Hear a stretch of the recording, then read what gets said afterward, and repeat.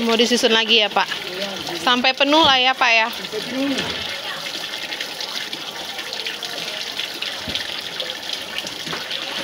Iyalah berat sekali nih. Kalau nggak laki-laki nggak kuat. 54 tahun aku kerja di sini, Dek. 54. Sekarang usia Bapak 57. Dari kecil udah kerja sini. Dari tiga tahun. Iya, anak-anak kecil-kecil lagi. Kira-kira satu kelas satu SD. Makasih ya Pak. Udah setia. Dia udah kerja, Bu. kerjakan. Tapi menolong-nolong aja. Iyalah menyusunnya. Itu pun udah hebat loh.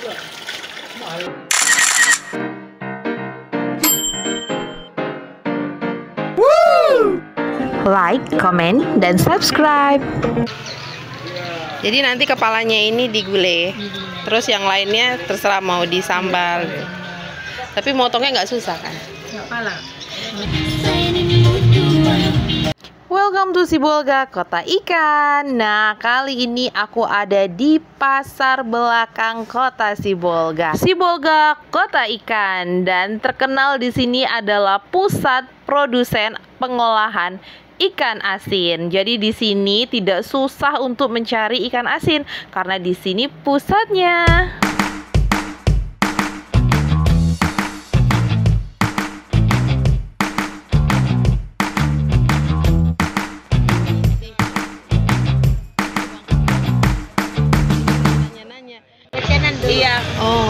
Apa ini kak? Ini namanya nek nek. Oga oga panamas. Panamas itu oga panamas. Ini langsung dari laut tadi nih. Iyalah saya.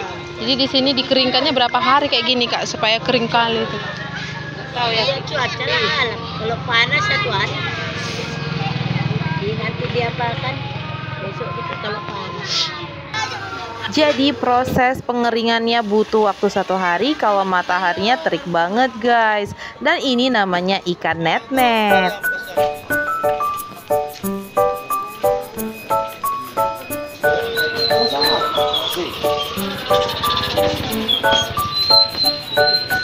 Ah, ikan net net tadi.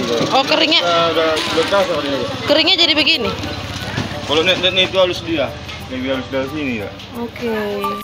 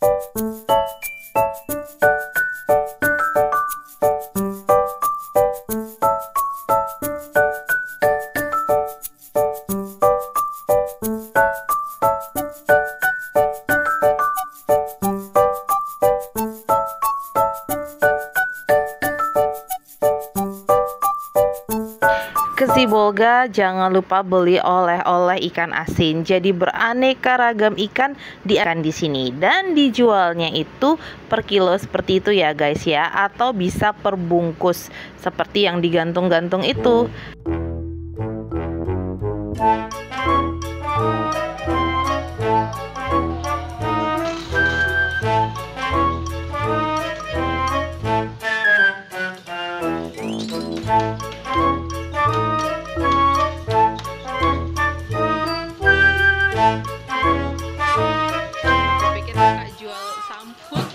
Beli ikan asin di sini pasti di packing kayak gini. Persis banget ya kayak di Jepang kalau beli sesuatu dibungkusin rapi kayak gini. Tapi proses packing ini ada tujuannya guys. Jadi di dalam kotak itu diberikan bubuk kopi supaya aroma atau bau khas ikan asin itu tidak menyebar saat di perjalanan. Misalnya kalau kita naik mobil atau naik bus atau naik pesawat. Jadi akan lebih aman bila di packing sehingga tidak dikomplain oleh penumpang lainnya. Lihat nih, rapi banget kan? Dan tidak lengkap kalau tidak ke home industri pembuatan ikan asin. Nah, kali ini aku mengunjungi salah satu produsen ikan asin dari sekian banyak produsen ikan asin di sini.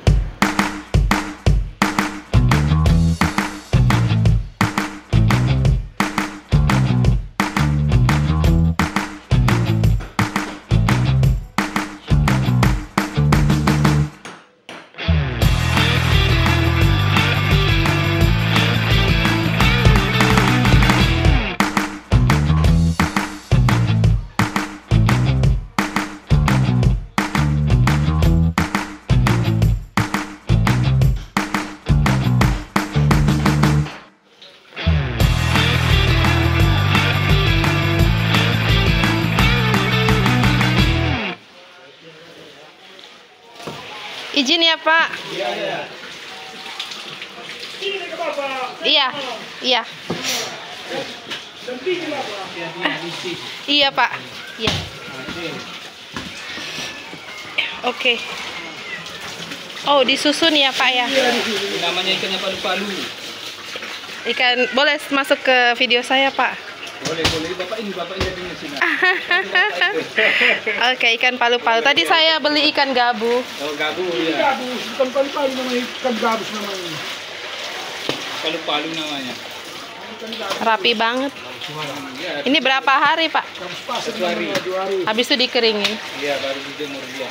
Oh, cuma garam aja resepnya. Ya, garam aja. Ada juga yang pakai tawas. Tawas dikasih. Ada, lain, lain ikannya. Kayak kayak gini baru pakai tawas kita. Ini ikan pinang-pinang. Oh, nggak semua ikan kasih tawas. Iya, semua.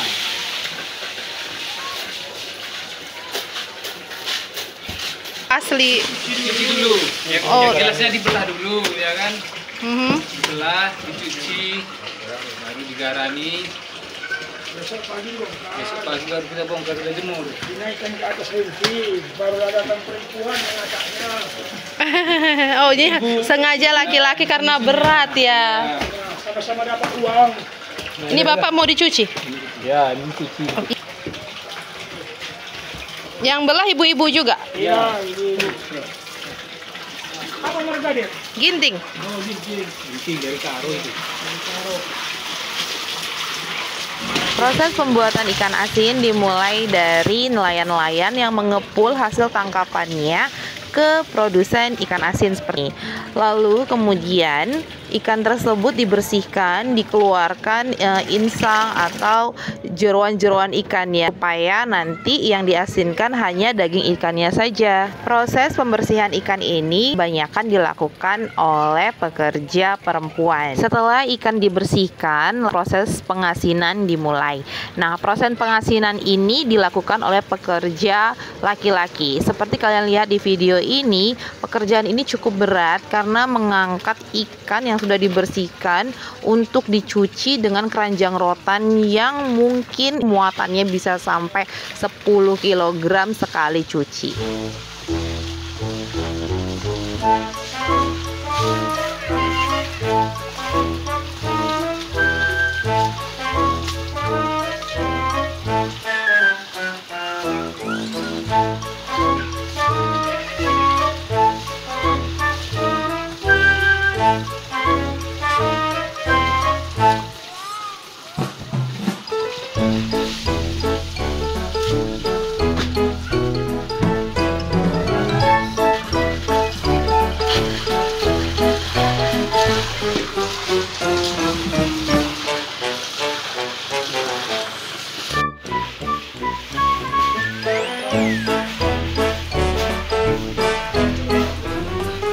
Ditimpa batu supaya ini ya Pak tutupnya ya. Dipres. Oh iya.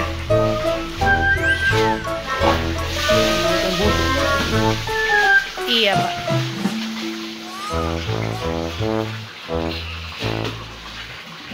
Proses pengasinan ini memakan waktu 1 sampai 2 hari.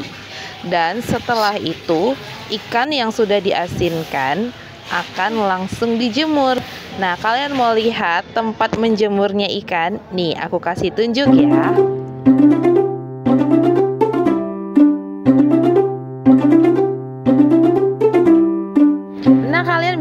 Lihat di sebelah kanan ini sangat dan indah sekali. Jadi, tempat pengeringan ikan itu seperti yang kalian lihat. Ini bisa lihat di video ini di sebelah kanan berjejer tempat penjemuran ikan asin. Wow.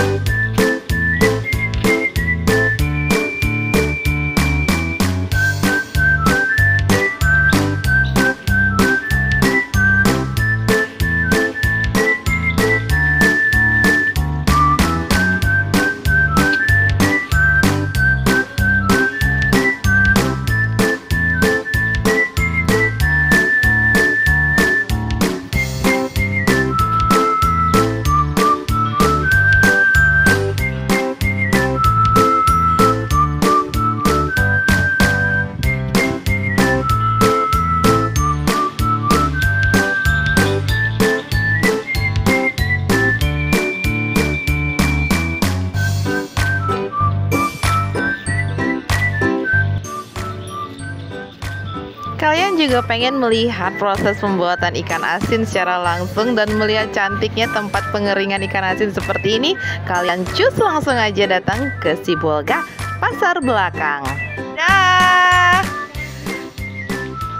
Lanjut mengunjungi pelabuhan lama Sibolga. Ada apa aja di sini? Nanti video aku selanjutnya.